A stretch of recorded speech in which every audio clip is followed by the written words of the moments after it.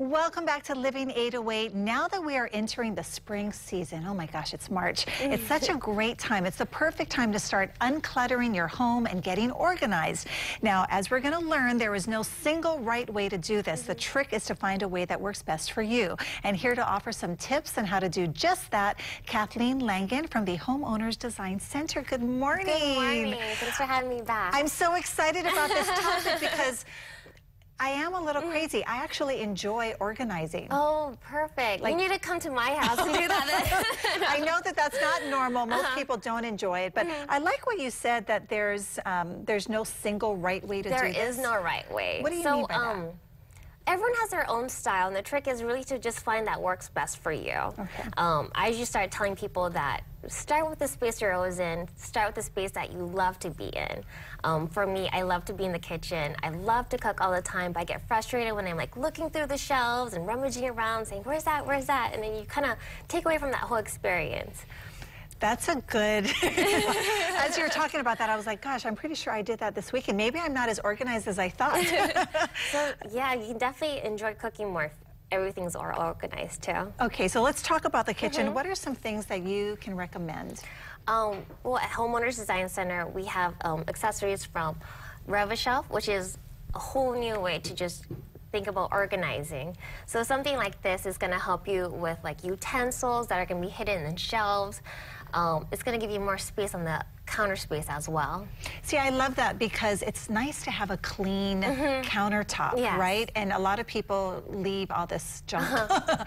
on there. Um, but also, in fact, uh, one of the problems I had this weekend is I tried to open a mm -hmm. drawer and all of these spatulas, you know, it wasn't allowing me to open the drawer. Oh, it was yeah. all stuffed in there. But something like this that's like in a bin already, kind of uniform, you can really find everything and has a place for its everything where it is. Okay, this is very nice. Mm -hmm. Is this something you can install yourself or do, would you need a professional to come in? Um, we can actually install it for you. Okay, perfect. Now what about smaller utensils? Smaller utensils um, you can actually use in a cabinet. Something like this in the picture. This one actually has a two tier, so it's going to maximize more space for you. Has a place for everything. Um, really has a clean look too. Mm -hmm.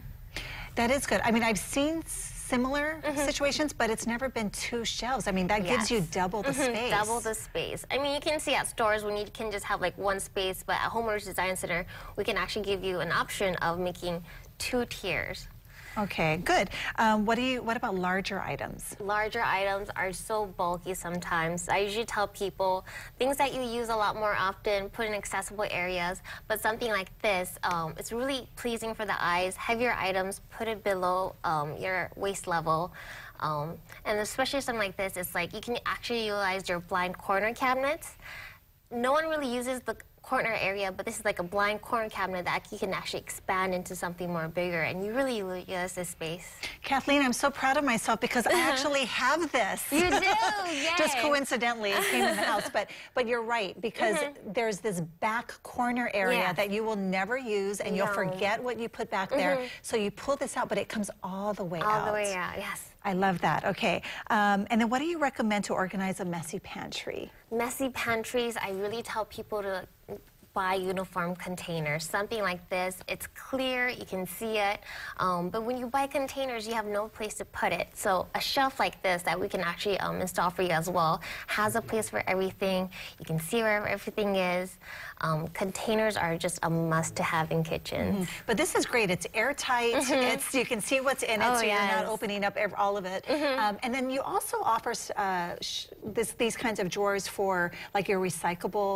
Oh yes, and your regular trash can. Yes. Okay, that is wonderful. All right, Homeowners Design Center, if people want to get in touch with you, where should they go? Um, just come to 1030 Kohou Street. We're located um, from Monday to Saturday. Okay, perfect. We're going to have all the information on our website, and we'll also have access to your website as well. Thank you so much, Thank you.